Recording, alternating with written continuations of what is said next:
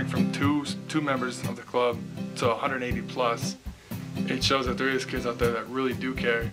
And we reach out to the community, not only with the five teams, but we do community, like um, we do like a fundraiser that involves the community, like whether we help out other clubs with trash pickup or we do, you know, we, we wash cars and we mentioned the Lakewood Sentinel and just getting the media and the publicity to show that teenagers care. I think not only are those 180 kids making a difference, it's, it just it just shows that if those kids are out there having the will to change things, that there's there are other kids out there that are willing to do the same.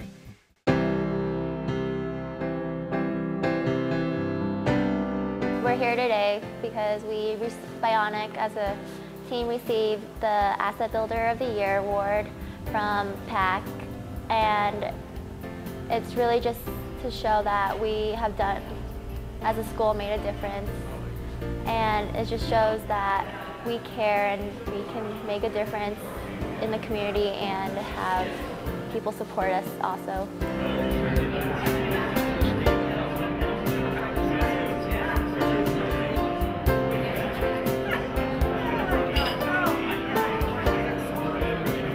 It is with great pleasure that I present to Green Mountain High School, and in particular their leader, Sandy Austin, the Asset Builder Award for the Bionic team.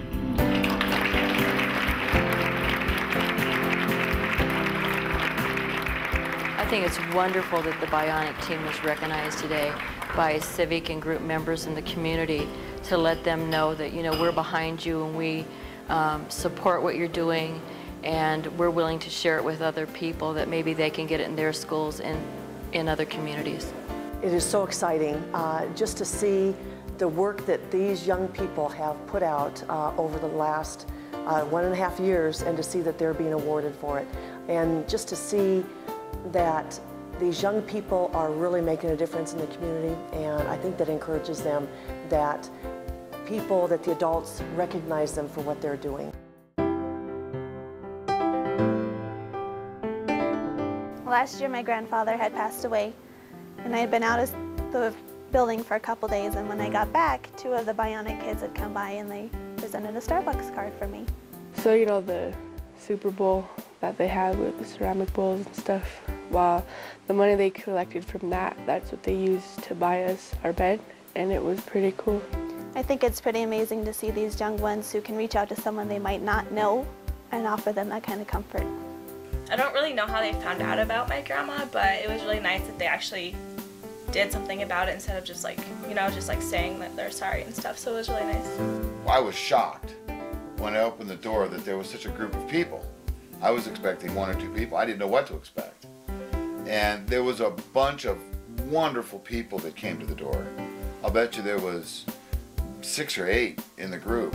And they were so kind in their comments and so nice about everything and so sincere that I was I was moved to tears.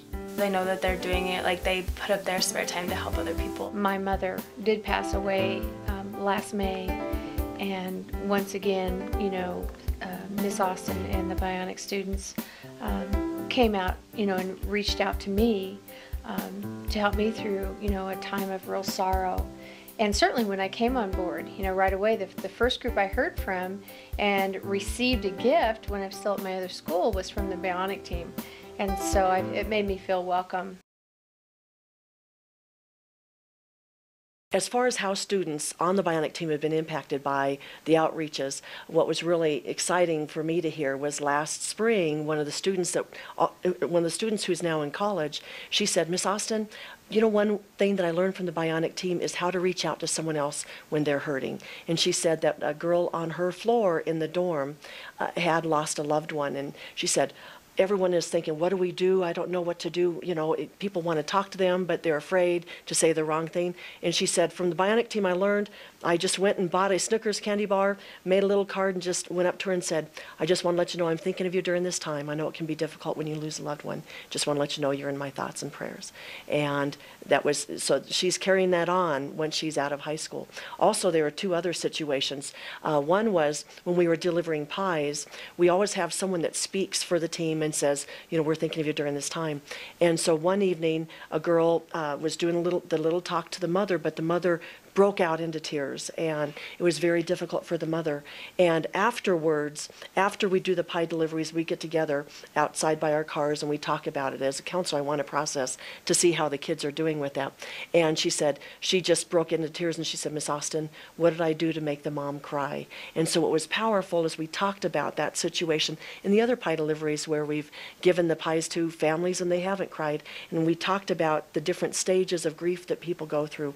And so what was really exciting was the next time we did a pie delivery, she was the first one that said, Miss Austin, can I do the speech again? So I could tell that she was able to work through that process. And then another situation was when uh, we had I had uh, gone to another high school that had experienced the death of a student.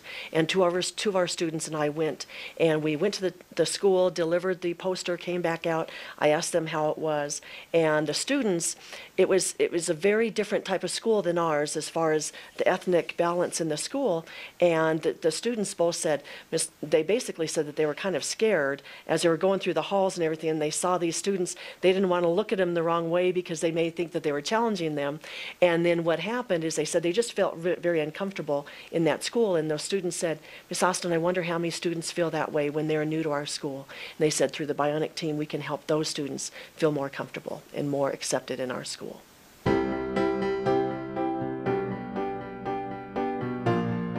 The common thought about teenagers today is that they don't care about anyone except themselves. You know, someone else can suffer a loss and, you know, they, they don't care. It doesn't affect them so they're not going to do anything about it.